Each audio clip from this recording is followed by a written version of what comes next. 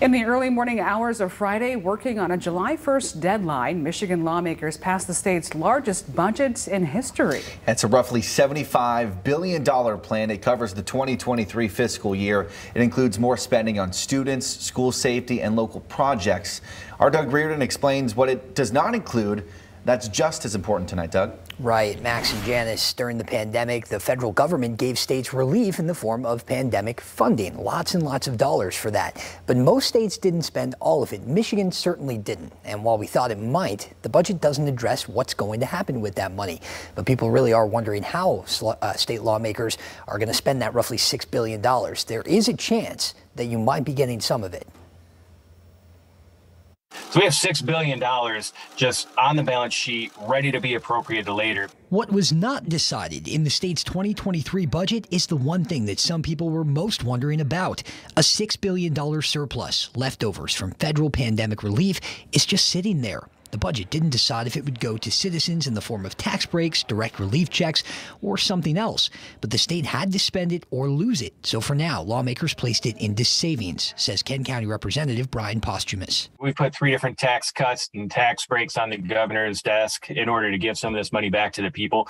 Uh, the governor vetoed all three attempts. So that's still to be decided. What is included in the budget is a record dollar amount on per pupil spending $9,150 per student here in Michigan. Michigan more than ever in the state's history. It also includes 1.92 billion for special education, 575 million for teacher recruitment and retention, and 52 million for lost learning during the pandemic, things like tutors and online courses. There are a lot of kids across the state who need some extra help uh, to get caught up, and they deserve our help. We have a, a crushing educator shortage that uh, needs to be further addressed. And the budget didn't just allocate money for learning in schools. It also put 693 million towards safety. By and large, schools will get to choose how they want to use that money. Some schools may need to use the funds in order to uh, create a more secure entryway.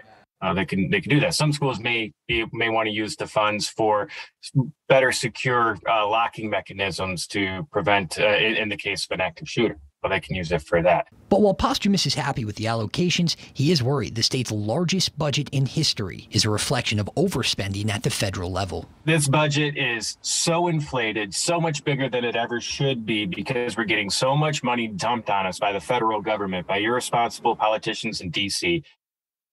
Yeah, and we should also note the uh, budget includes $6 billion for local road repairs, and it also wiped out 2.7 billion in debt here in Michigan. Posthumus thinks that is also a first for the state in terms of the amount. In the studio tonight, Doug Reardon, Fox 17 News. All right, Doug, thank you.